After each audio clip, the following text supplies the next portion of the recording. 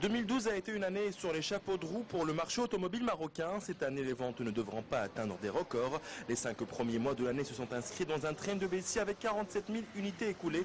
Le marché des quatre roues n'est pas en crise, mais il résiste.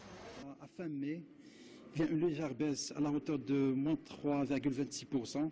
C'est une baisse euh, correcte, on va dire, puisqu'il n'y a pas un événement dédié à l'automobile comme 2012, qui était une année dédiée au salon de l'automobile.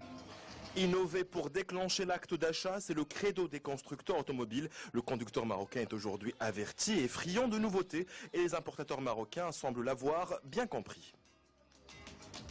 Les Marocains sont friands de nouveautés. On le remarque dans les euh, lignes de vie des modèles. En fait, les trois premières années des, modèles qui euh, ont une, belle image, qui plaisent aux, clients marocains, ont des ventes spectaculaires. Et après, à partir de la troisième, quatrième année, ça commence à s'affaisser un petit peu. Les acteurs du marché tablent sur une croissance de 5 à 7% en 2013. L'arrivée de l'été et de son lot de promotion va donner un coup d'accélérateur au marché automobile marocain. Donc ce recul à fin mai euh, n'est pas un recul inquiétant.